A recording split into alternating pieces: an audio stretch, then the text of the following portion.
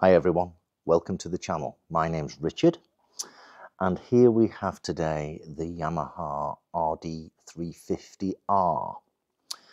This particular machine was built in 1992 and sat in a showroom for five years and wasn't registered until 1997.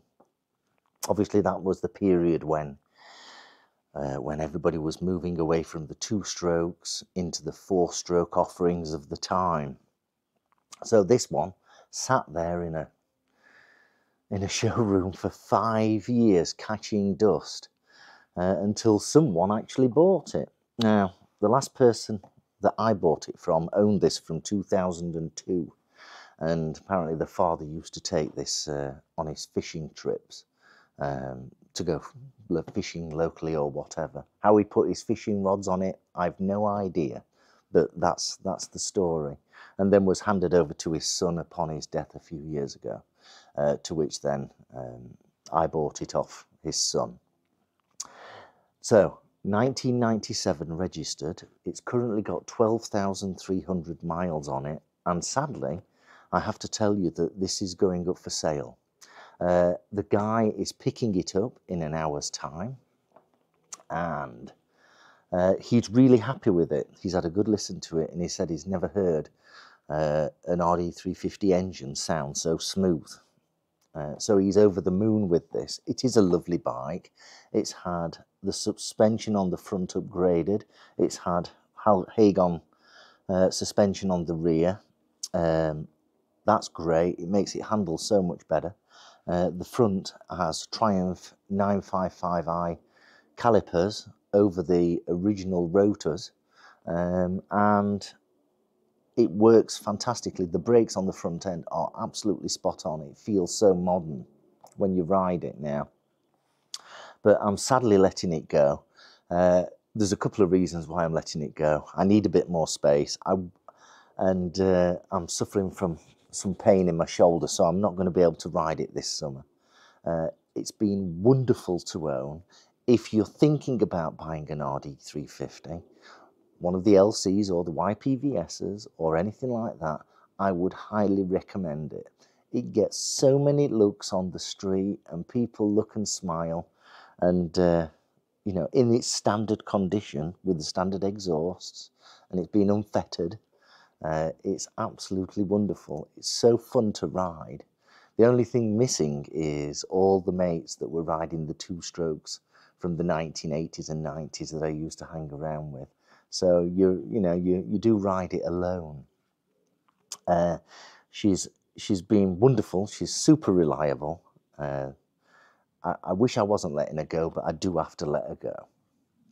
I do have to let her go. We're going into the winter period soon in the UK. Currently it's July. It's coming up the end of July. Uh, so I need to prepare for winter. Now, as you probably know, I've got a Triumph T120, which is my bike. I've got another bike that's up for sale as well, but that's another story.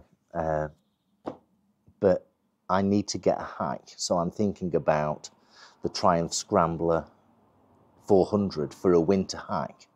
So I'm going to be looking at that maybe later today, later tomorrow, uh, at the Staffordshire Triumph, and maybe get a brand new one or possibly secondhand.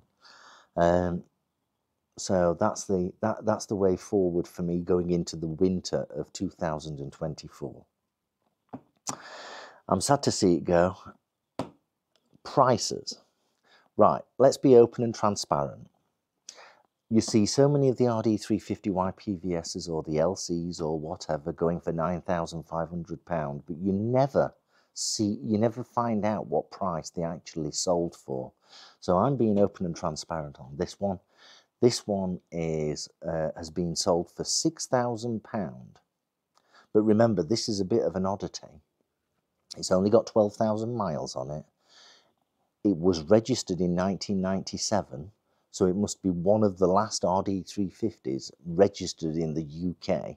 It must be, yeah. So it's a bit of an oddity.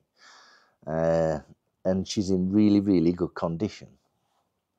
Uh, so this one has been sold for £6,000. That gives you a flavour of how much these bikes are worth when they're advertised for £9,500. No, I'm not so sure that they actually sell for nine and a half thousand pound. Maybe I'm wrong. I could be wrong, but uh, uh, you know, I just don't, I just don't think that they sell at that price.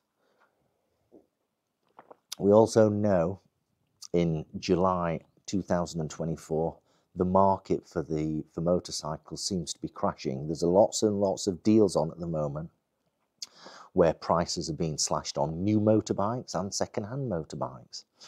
Uh, and we're going to talk about pricing in a future video and my thoughts on this. Uh, but we'll come to that. But yeah, she's a lovely machine. I'm going to be sad to see her go. She's been fun while I've had it and while I've ridden it. And if you're thinking about getting an RD350 or an RD250 or a Suzuki X7, I highly recommend that you go out and buy one and have a bit of a good time. Uh, they are great fun, uh, and I am sad to see this go, but things must move on for me. Uh, and that's about it. I hope you found this informative. There are other videos on the channel of this RD350 right being ridden. I'll put some links in the description so you can go and have a look at those. Because, you know, typically she sounds like a bucket of angry wasps, yeah, when you're riding her. And it's, it's just wonderful. It's just wonderful. I will be sad to see her go. So, I hope you enjoyed this short video. Uh, and an icon an icon of the 1980s, 90s, is now leaving uh, the garage, shall we say, and the guy picks it up in, what, some half an hour's time. He's going to be riding it home. There we go. Which is not too far away. He's not, he's not riding it too far. But uh, yeah, it's been a wonderful bike to have and remind myself of the, the 80s and 90s when I used to ride on two strokes. Have a great day, ride safely, be kind to everyone. Please subscribe. Please like if you found it useful and informative. And don't forget to turn notifications on for future videos coming up. See you soon. Thank you. Bye bye.